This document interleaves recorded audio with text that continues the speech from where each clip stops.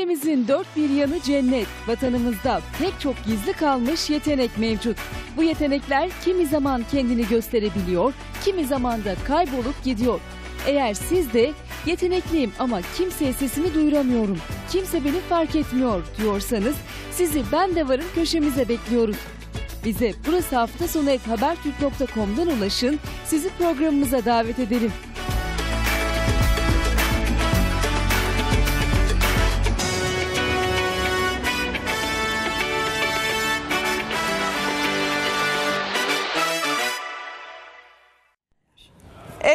Efendim çok ama çok güzel bir bölüm Bende Varım köşesi bugün özellikle. Ee, gördüğünüz gibi miğferler, zırhlar, kamalar ve neler neler. Hemen susuyorum ve sözü bırakıyorum. Anlat bize Fatma. Evet, e, Türk tarihimiz bilindiği gibi e, savaşlarla dolu geçmiştir. E, savaşçı ruhuna sahip dünyada tek millet Türk milletidir. E, ben de e, eski bir Türk soyundan gelmekteyim. E, ben de kendim de savaşçı ruhuna sahip olduğuma inanan bir Türk kadınıyım. Allah. Evet, bu işi yapmaktaki Zaten belli. evet, evet, bu işi yapmaktaki e, tek amacım e, eski Türk toplumundaki savaş aletlerini tanıtmak. evet gayet güzel oldu. Bakın bakayım bu nasıl- Ay bunu nasıl- Alparslan miğferi. Alparslan miğferi Evet, bunu 1071 yılında Allah. Malazgirt zaferinde kullanılmış, savaşında kullanılmış bir miğferdir. Çok da yakıştı size. Evet, nasıl yapımı- taşıyorlarmış bunları ya? Ne kadar Evet ağır. çok ağır zaten bütün e, aletleri, mısınız? koruma aletleri olsun, savaş aletleri göremiyorum. olsun gerçekten çok ağır. Gördüğünüz zırh 25 kilo. evet 25 kilo ve bunu taşıyıp yine e, silahlarını, evet, silahlarını tekrar üzerlerinde taşıyorlar. Ayrıca atlarına giydiriyorlar zırhları. Atlar da taşıyor. Atlar da taşıyor ve bu şekilde savaşa katılıyorlar. E, yaklaşık e, kullandığı silahların ağırlığı bugün bizim yaptığımız, benzerlerini yaptığımız aletlerle, e, savaş aletleriyle e, çok alakaları yok. Çünkü o zamanın e, teknikleri çok daha farklı e, ve daha zor şartlarda ve daha büyük e, cüsselerde yapılan savaş aletleri. Şimdi teker teker geçelim mi? Bu mesela tabii bu ki. nedir? Bu, hangi atlı- dönem? Evet, bu atlı okçular için tasarlanmış börk Öyle. dediğimiz. Ha bu Burke mü? Evet. Aa, şöyle ah, hiç Evet. Atlı takmamıştım hayatımda. için. Biraz önce taktığınız yaya okçular için kullanılan bir miğfer. Bu? Ee, bunlar kalkan. Kalkan. Evet, Bir kalkan bakabilir miyim? koruma amaçlı. Ha, koruma şöyle amaçlı iki yapılıyor. elle mi? Ha, yok şöyle. Tabii ki tek elle. Şöyle bakın tek elle, arkada bakın. gördüğünüz deri kısımları Ay, tutmak harika. için ve kendini koruma amaçlı, evet koruma amaçlı yapılmıştır. Harika. Mızraklarımız, Mızraklara da bakalım. mızraklarımız çok önemli.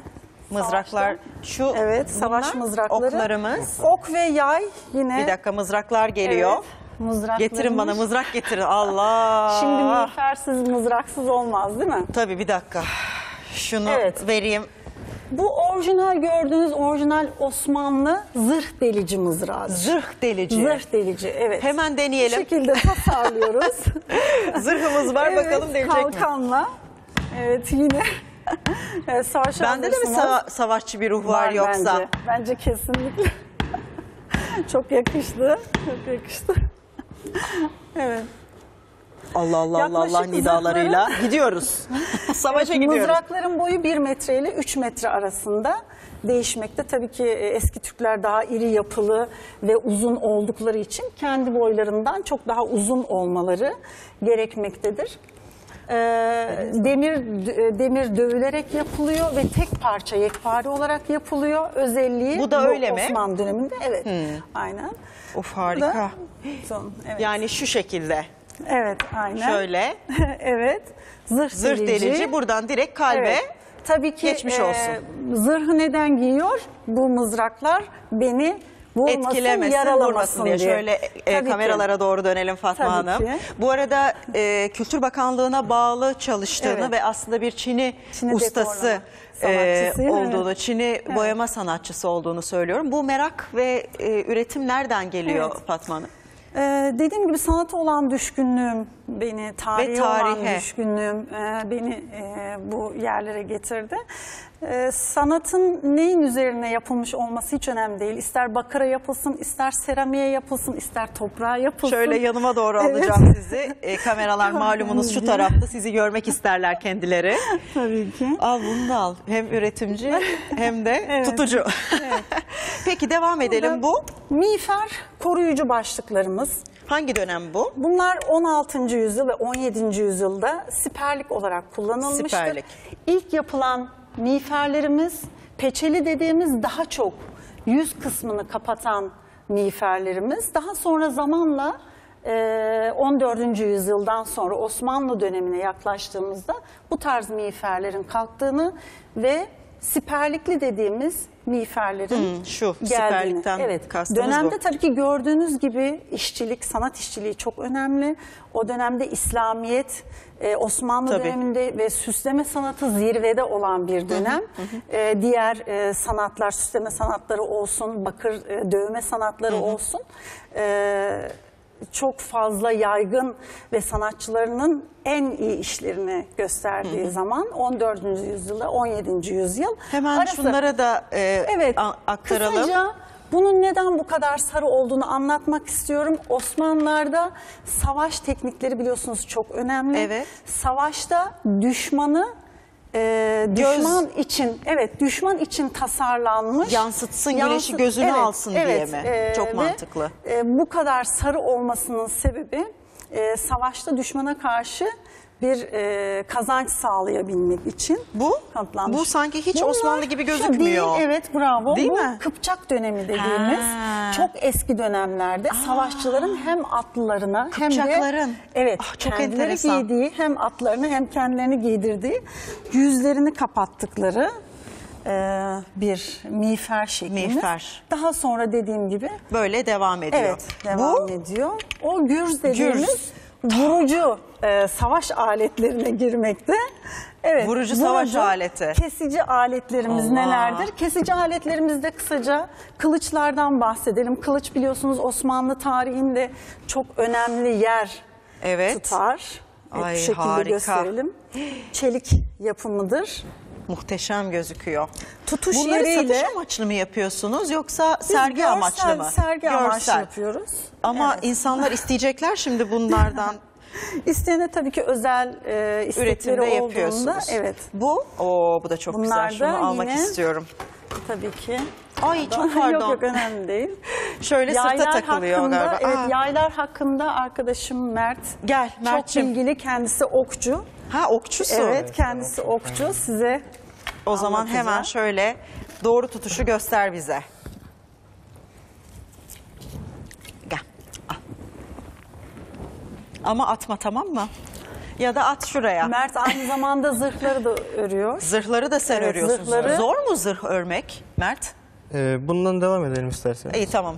Ben çok merak ediyorum da. Bir de az zamanımız kaldı çabuk ol. Evet, şimdi bu zihki denilen yüzük var. Evet. Baş parmak tutuşuyla atılıyor. Evet. Ee, şu an bunu atamam ama bayağı şey olur.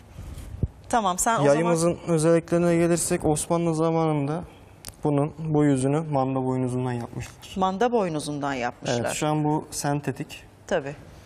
Ee, yapıştırmak için üç kısımdan oluşuyor bunlar. Akça ağacının güneş görmeyen kısmını kullanmışlar. Yapıştırmak Allah için de Mersin balığının akciğerini kullanıyorlar. Mersin balığının akciğeri yapıştırıcı özelliğe mi sahipmiş?